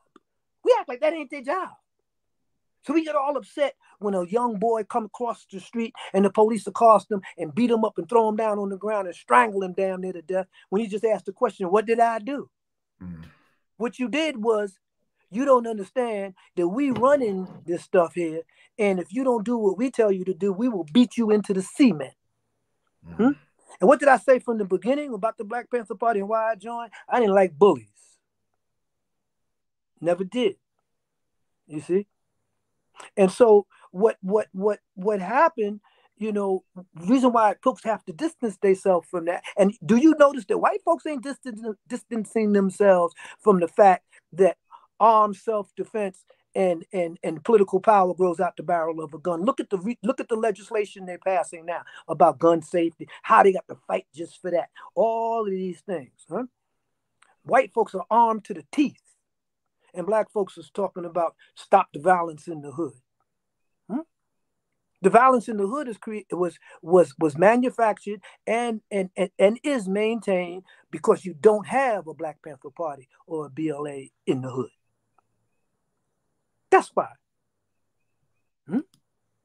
When when Fred was in when Fred was in um Fred Hampton was in Chicago, you know, they tried to set him up, tried to set up the uh uh tried to set him up for murder at the hands of of of, of the Chicago street gang, Jeff Fort and them. But Fred was so shrewd, he flipped it on him. He actually met with Jeff Fort, say, now look, man, you don't want to do this. Cause this ain't, you know, this ain't this ain't gonna end well. Not for me. It ain't gonna end well for you. You see? And Jeff Fort was like, what? Man, all these all these street niggas I got out of here armed to the teeth. This nigga talking about it ain't gonna end well for me. Yeah. Because could just imagine what we could do together. Hmm? That's why that's where the idea and the notion of the Rainbow Coalition came from. Mhm. Mhm. We weren't allying ourselves with white folks in Appalachia that wouldn't shoot back. Huh? We weren't allying ourselves with Puerto Ricans and Latinos who wasn't about decolonization of Puerto Rico and, and, and defending themselves. Huh? Everybody in the in the in the uh, Rainbow Coalition believed in the right of armed self-defense. Everybody in the Rainbow Coalition believed that we should control public safety and the police in our community. Huh? And so when we talk about something, um, uh, uh, uh, uh, why people are bend over backwards to show how the Black Panther Party was basically, you know, feeding kids, doing health care. We did all of that. Uh huh. We did all of that. And why did we do it? For the same reason that Mao Zedong and other revolutionaries took their struggle to the most oppressed people in their community and educated them and lifted them up to resist those oppressors, oppress, oppressive forces in their midst, whether it was the landlords in China or whether it was the comp- comprador class in the Philippines or wherever. Okay? And we did the same thing. Okay? So looking out for our people, you know, feeding them comes with revolutionary love, comes with a commitment of of of, of in, in, empowering our people. But at the same time, the enemy, white folks don't understand nothing until you put your foot in their mouth. They don't get it. And you don't, y'all can sit up here and talk all of that yik yak stuff if you want to. Hmm? Watch how the conversation changes when there's funerals on both sides. What, what, what happens when the PBA got to call a, a, a, crump for defense? Hmm? so they get their settlement. when's the last time you? When's the last time you saw the, I can't. that? Should sound absurd. I, I right? know, I know, it's right. I was just trying to picture that. Like, talking about we got a settlement for the family of the, of Uh, the, slain of the, the slain. Oh They don't have to do that because because he was slain in the line of duty and he has all these get- right, to go to his right. family. Why? Because they have a union. and there's and and to your point, there there are representatives of the state, so the state takes care of them to that extent. Well, I didn't Um, get that part. I got a call. I was just saying that to your point that you you as you were making you, you said that the police are the armed agents of the state, so they have the state they're they're state sponsored and therefore have the support of the state when when when you know when necessary. Um, and so we didn't. just quickly, Drew, Drew the, the, the when folks in the chat who've seen the series, when they make mention of Tupac going to uh, Marin City, that is Marin County, right? California, right? Because all because because we all heard the same thing without reference to that to that to that particular moment in Black August history, right? Um, uh, which I thought was another interesting moment because I was just asking the chat, Dhoruba, in the series, they make mention of Tupac at one point early in his life moving out to California and, and moving to Marin City. And they talked about how th- there was, you know, um, the, the the the one side of the city was rich and white, and he was in the the black and poor side of Marin City, and that but they didn't mention Marin County, and of course they didn't mention Marin County Courthouse. So I just was asking the chat if that was in fact the same, because all I know of when I hear Jared, Marin is the one. Jared, anyway, go ahead. Yeah, go ahead. We Yes, need sir. to ask ourselves, and this is one of the things um, the sister pointed out to me. We need to ask ourselves, you know, when we talk about Tupac's politics, if Tupac is, was genuinely anti-capitalist and anti, I mean, here's a guy that's talking about poverty and poor people not having things. Tupac wanted to be successful. He wanted to be. He wanted to be some something. He wanted to be recognized as being somebody, you know. And there's nothing wrong with that, you know. And he was, and he was good at that.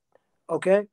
But you can't sit up here talking about you anti-capitalist and how these crackers is exploiting us, and you got diamond rings on all five of your fingers, and and gold chains around your neck, and you don't own no goddamn gold mine here or a diamond mine.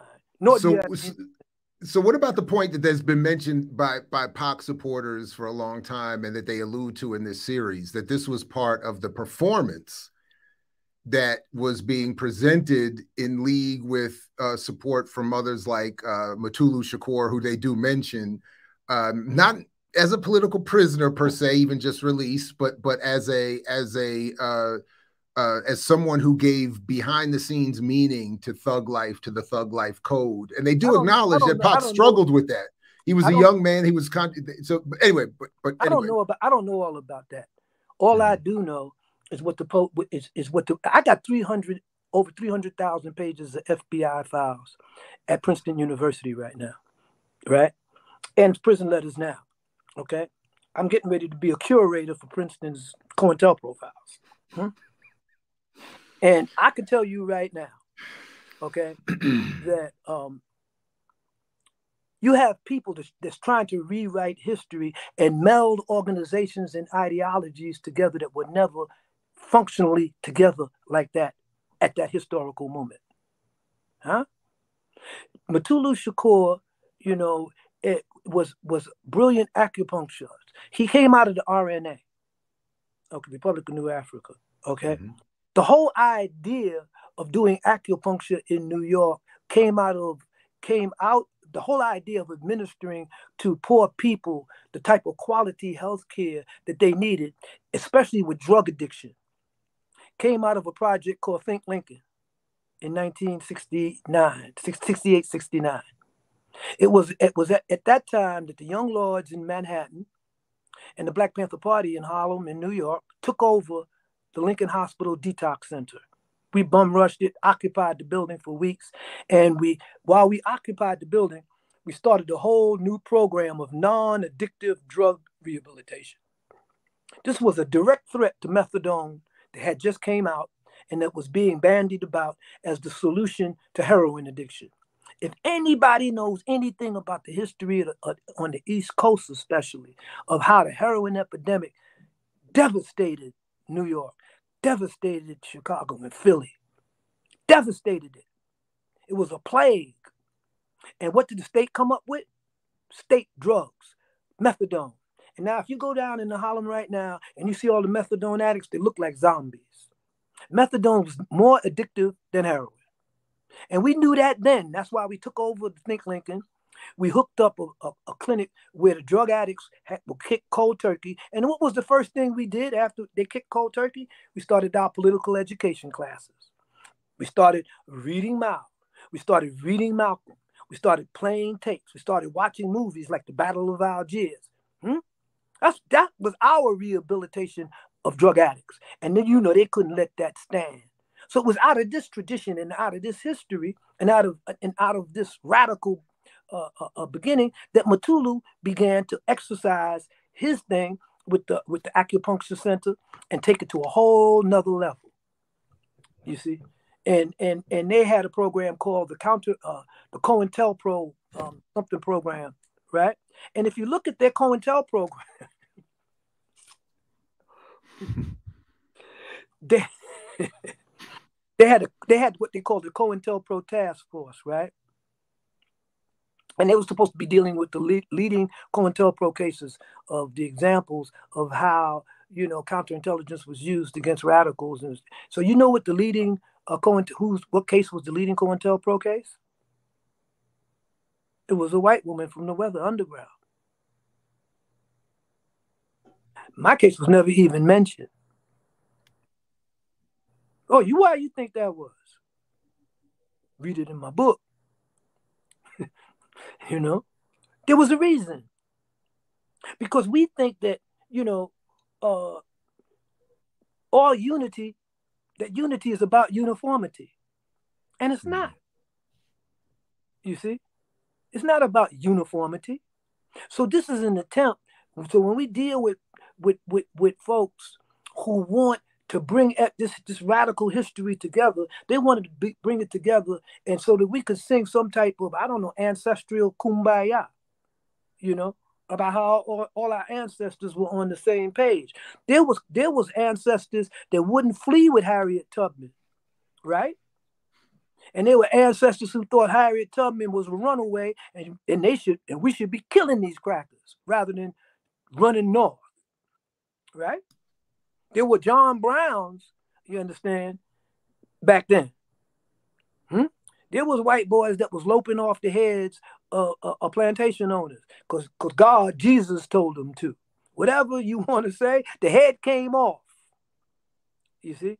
So my point is, is that because we had a common enemy and because we struggled against this common enemy at that time, means that um Jesus Christ means that that another generation that comes behind us they see these radical histories and these radical struggles and they try to see where they intersect. You know they do it with malcolm and and, and, and martin you know they, everybody does that where did malcolm and martin meet and if you notice they'll go digging for a real photograph where they're together what does that tell us that they were together back then huh that Malcolm and, and, and, and Martin sat down and said, okay, you take you take the you take the wide receiver and I'll take the running back. And we were both on defense. It, it wasn't like that. It's like that in our minds. It's like that because we want it to be like that. You see? We need to really understand what really happened. And that's not that that's not going to happen if those of us who live through it feel it's necessary to fudge events, to create myths, you know, to create false false legends and and iconically uh, uh, iconic iconic how you say that iconic, icons yeah icons mm-hmm. You see I, I guess what i'm trying to say is that's why it's impossible for, for for what you saw in the series that you saw to actually look i mean it's, imp- it's it's not practical to look at it as a documentary. It's a movie. It doesn't make sense as a documentary. You know, that mm. Did did did that Foster and Laurie thing where they were black cop and white cop who died together at the hands of brutal, barbaric uh, criminals. Was that a documentary? Was that accurate? It was a movie. It was a movie, the Vietnam vet and how they loved each other and they all came back to the police. They were going to serve the community. And oh, we all, come on, man, spare me that shit. Well, that's my point. If they did a movie, if they turned this series into a movie about Afeni Shakur and her son Tupac, and did what the documentary does, have have that be the focal point with the Panther Party and those politics sort of being the the, the background context behind this, the film that to me would be easier to dismiss as the stealth history that that, But that- why? You just talk about how well it was done. Because that's my point. But, but no, but Become no, reality.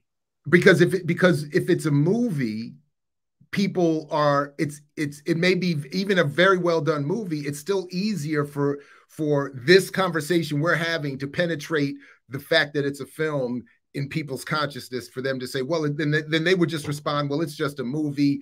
Okay you know we get it. It's not supposed to do all those things but a documentary series a five part documentary with the label documentary gives it that level of authenticity that But I think makes it Do you know how long that had to be in the making?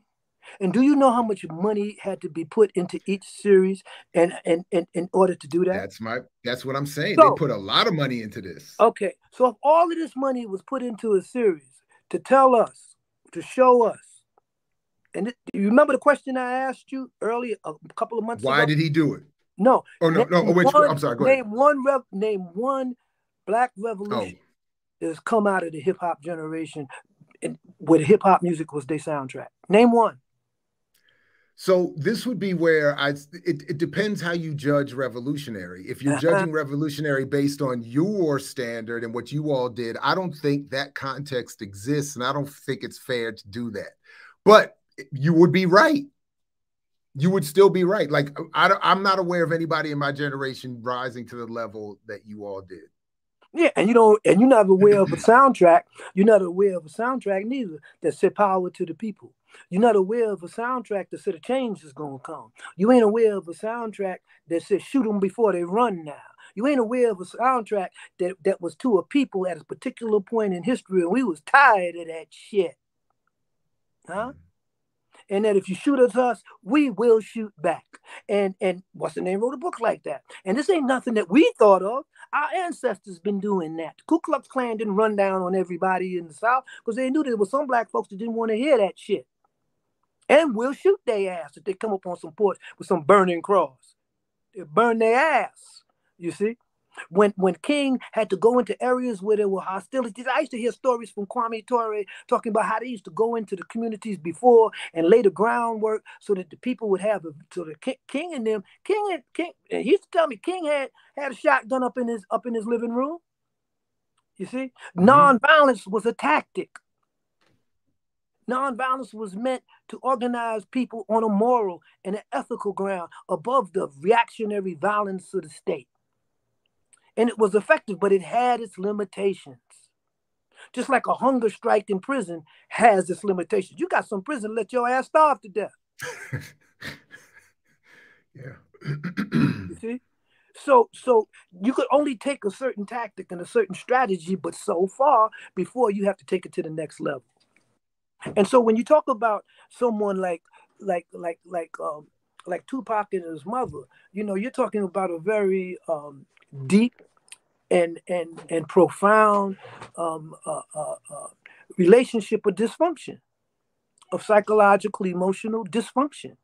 And and and lot a lot of it was caused by the trauma of being of at least on his mother's part of being in a movement that was defeated nobody i mean nobody talked about why afeni didn't um, uh, um, go with us uh, go with um, uh, uh, Cetewayo to Algeria when she had the opportunity. She she chose not to. She made that decision. Nobody was going to force her, but she was involved in the planning from the beginning to the end. It wasn't like she was left hanging there by herself. She made that decision. You see? So the consequences come, therefore, from that. How do you was in in court Oh. with his Wait. wife next to Mhm. him, pregnant by somebody he doesn't even know.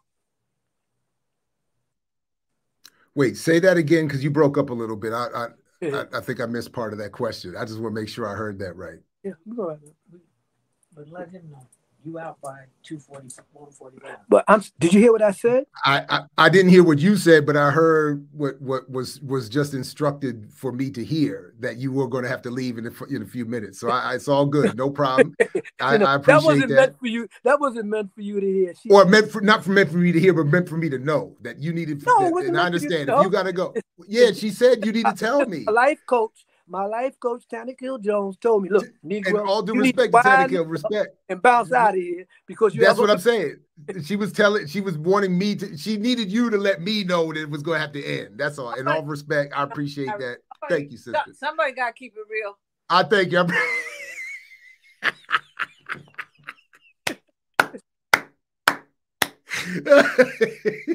otherwise, I'd be George jacking. I'd be George jacking the four o'clock. exactly, exactly. I'm not ah, mad. I hear it. That's what I'm saying. I don't know what to do with y'all, man. Y'all on some y'all on some stupid shit, man. So listen, let me just say this: the the series has three more parts. I will work around your schedule and and and, and whatever Mama Tana Kill allows to occur, we will work around that and and come back and and and we can continue this because the series. Because my point is, if the series is going to keep hitting us with the nonsense, we need to have you come back and try to to balance that out. So, but that said, make your go ahead and say the the, the last thing you, saying, want to say for today. I Yeah. don't want to. I don't want to come off like um. I don't want to come off like understanding Tupac and his mother, and and what they went through and the trauma they went through, the confluence of of of repression, dehumanization, you know, criminalization, and and Tupac trying to, you know, grow up and be somebody, mean something, and how the influence of his background, you know, um, inform that. I'm not trying to do away with that. But what I want the, uh, the audience to understand is that when we look at accounts like this, this that's made really slick with a lot of money, you know, we understand that creative license is going to take precedent. Not necessarily truth in, in, in the telling, because we're living in the age of, of, of weaponized uh, uh, data. We're living in the age of the algorithm, where people very seldom have a face-to-face relationship with each other politically. It's almost all on Facebook, um, Twitter, or whatever. So organizing is not like it used to be back in the day where you actually had to sit down and beef with people face to face. You had to go into the community, you had to get into the house and get into the move into the building. If you're gonna tell the tenants to resist the landlord and you're living in another building, that ain't gonna work. You have to move in that building and resist the landlord with them. Mhm. You see what I'm saying? And and that's why you see that Afeni was involved in in, in in helping us deal with the teacher strike, in it with the with the um with the uh, um, um, um, teachers union in New York, Mhm. led by an arch Zionist, by the way, Albert Shanker. You Mm. see, and and and and so yeah, so she had to be involved in that because the Harlem branch that was our policy. We all did that. You see, and so but to say that that you know the sister you know represented this leadership in the, in the New York chapter was a complete misunderstanding of how the New York chapter was after we were arrested. It was not being run by by by brothers and sisters in New York. It was being run by surrogates from west from the West Coast who didn't know jack shit about New York. Hmm? Mhm. That's why when the split went down, the first thing that happened was that they were run out of New York. Literally. They were getting on the plane and run. I mean, they were trying to get, they were trying to get on the plane so fast that the FBI busted and thought they was gonna hijack the plane Oh damn. because they had guns on them when they got on the plane. so, so two of them got got three years in jail right here in New York, and all the time they was in jail in New York, they was in protective custody. Oh wow. I mean, the people just don't get it. that the destruction of the Black Panther Party of COINTEL, the, the force of COINTELPRO was brought down on the Black Panther Party not because we were just feeding kids, but because we believed that self-defense of our communities meant con- community control of the armed agents of the state in our community. And if we couldn't control them, then they had to be put in check. And that's how it worked.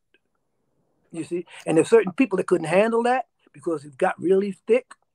Huey and them got out of prison. Huey just didn't get out of prison and he was crazy.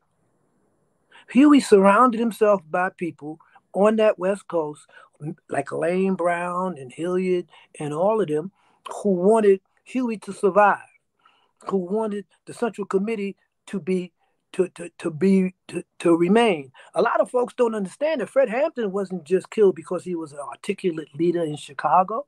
Fred Hampton was killed because the government understood that the Central Committee in California was going to be democratized. That's what we were struggling for. That's what I was struggling for. That, that the Central Committee should have leadership from all over the country on it, representing the Central Committee of the Black Panther Party, rather than just people from California. Okay? And the government knew that. And the government knew if that worked, then the Black Panther Party would become a much more dynamic and a much more grassroots organization. And so what happened was the split. And what happened, all of those individuals in the different areas in Chicago and different places, those who remained were brought to California, put in intensive programs of political education, and, and worked for what for the next few years? The election of Elaine Brown and Bobby Seale to electoral office. That's where they wanted to go. They wanted to go to electoral office. And that's what, you know, survival pending revolution meant to them on the West Coast. And whenever you see a reunion of the Black Panther Party for the last 10 or 15 years, you have never saw the East Coast represented in those reunions and in the programs and in the project. Why? because we were in the tradition of Malcolm. We were in the tradition of Marcus Garvey. We had politics. We had Pan-African politics. We believed in ourselves as African people. We not we didn't just believe in ourselves as black people living in the hood. You see, we understood that we were a domestic colonized people. So we acted that way. That's why we had African names. That's why we had culture and politics. You see the West Coast, they didn't come to it like that. They were country boys for the main part, you understand, who didn't want to take mm, stop. They were tired of taking shit off of them cops. And Huey was no punk, you see. So he stepped inside of history said, man, you know, I'm gonna beat up on you guys. Y'all look at the videos of Huey, how he how he taunted the police. He would just wish they would go for their gun. And that inspired all of us. You see? So what I'm trying to say is here you had cultures that one from the East Coast that was deeply seated in black culture, black black consciousness, um, African culture, music, jazz, all of this stuff came out the East Coast. Out of New York, out of Philly, out of Chicago. That's Midwest. But I, you know, it came out of East Coast. Where did hip hop start? Uh, South Bronx. East Coast. It didn't start in Compton. By the time it got to Compton, what was it? Gangster rap? Huh? NWA and all of that stuff. I was in the penitentiary, so I can't speak on that. I know one thing that the kids coming into the penitentiary when I was in there for 19 years increasingly became psychotic and demented. They became unable to deal with with with anything other than their their their feelings and their emotions, and they couldn't even handle being alone with themselves in a cell. So that would be, and I know you got to go. So I just want to say that th- that would be the only area that we can pick up on where where if if I if I ever slightly disagree, it's on that point, and that's why I'm saying that we haven't seen the form of revolutionary that in in my generation that we saw in yours. Um, but but thanks to Mama Tanakill and and thanks to you, Dhoruba. I, seriously, man, I, I, I, it is invaluable to be able to reach to you, reach out to you uh, as often as we do, and I appreciate it. And I can't wait till the next time. So so travel well, be safe, uh, and uh, whenever we can make the next one happen, we'll do it. I'm gonna keep watching this series. So you know, Oh, and I just want to I use that as an guys. excuse. Yeah, go ahead. Yeah, go ahead. shout out to you guys before I go. I just want to thank everybody that that that, that helped with the GoFund and, and Yeah, no doubt. you know I'm you know big up to y'all, man, and you know it, I it's it's it, it, I can't express it really. It's hard to express, and so I just don't want to. um I you know I, I appreciate that. I, I'm going back. I'm going back Tuesday. Um, another comrade, another friend of mine's his funeral is tomorrow, and and you know Blood's Blood's memorial is on the 20, 28th. So I'll be in Africa. So um, I'm going to hopefully participate by Zoom. You know, and I'm just saying, you know, I, I you remember I gave you that that that that organization or some publishers that were t- but that were publishing BLA material, and they were saying Mhm. they wanted to, you know, no one could ever find out who these people are. You know, and they're reprinting material on the BLA that's mixed with the politics of the RNA, that's mixed with the politics of of of um, other left wing uh, black organizations. You see, and and so this is what I mean about how history, how recent history. This ain't no ancient history because some of us are still alive. You see, that's why certain things aren't said while we're still alive because we could comment on them. It's like you picked up the phone and said, "Yo, did this really happen?" you dig what I'm saying? So when Yeah, absolutely. you, so when you're dead, you got to dial up an ancestor and say, "Well, what did he say about this back then?" You see what I'm saying? So yeah, man. You know, I just wanted folks to understand that you know that when it, with the series that they're looking at with Tupac may be very creative and undoubtedly it might have information that inspire and perhaps you know touch uh, uh, uh, certain people. I know it would touch a lot of sisters who identify with Afeni and what she had to go through, you know, and and rightly so. And, you know that's cool, but just not get this twisted. We lost that one, huh? Mm. And reason why we lost that one, because we didn't have a generation to pick up that gun. You can call it what you want. You can call, oh man, what did you do about the gun? Huh? Where's NATO? NATO is in Africa, in the Sahel. Did NATO come into existence for Africa? Nah, it came into existence for the Soviet Union. And now it's in the Sahel. And what are they doing in the Sahel? They're running the French out. How are they running them out? With rhetoric, with academic study. They're running their crack ass out there with guns. And if we understand how we need to deal with our community, we need to have control of public safety. We need to control the armed agents of the state in our community. So it might not be the Panthers out there on the front line, you know, with with with uh, revolutionary theater, because the gun for the Panthers was part of revolutionary education. It wasn't. We just didn't carry it because we were doing some macho posturing. Although you have sisters that would say that now, that we was just macho posturing, and us and the police had a lot in common because we both macho posturing. Well, please, you understand? The guns were loaded, and they did. They will kill your ass. You see. So it wasn't just about posturing, and that was the problem with Tupac. He was playing a role. He was he was on the stage acting, but the but the but but the play was serious. It was about life and death, and sadly, he came up short. He wasn't killed because he had most consciousness, and this was a COINTELPRO setup. Look how he was killed in a in, in a spontaneous beef in Las Vegas in a hotel in, in a gambling casino with some thugged out criminals, with some thugged out uh, Negroes that had no politics. Suge Knight didn't have no real politics. And who they had in the interview talking about Tupac and oh, how real he was? Snoop Dogg, hmm? Dr. Dre, And his in his uh yeah, his his his cousins. His cousins. Seriously. Seriously. Now that they're millionaires, now that I mean, now that they're icons. I mean, Snoop Dogg runs the runs the NFL entertainment program now for halftime. You see? Do you think if Tupac was alive, do you think Tupac was alive that he would have that that that that, that he would have brought his mama out on stage at the NFL? So this is my mama, Afeni Shakur. Mama, I, everybody, I'm gonna play my song. I love my mama. I love my mama. Do you think that? that you, huh? Huh? You think so? no. hmm So let's not get it twisted. Perception is not necessarily reality. See? Right on.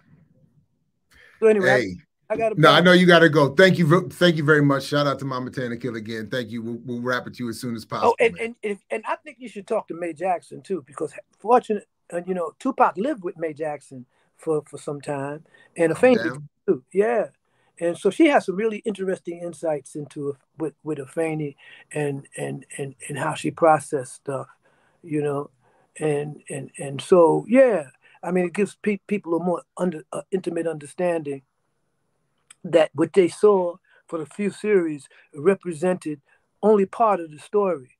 You That's see, right. Yeah. it was a movie. It wasn't a documentary. It wasn't documenting historical facts. Mm. And then we have to ask ourselves who makes history, men or women, or do history make men and women?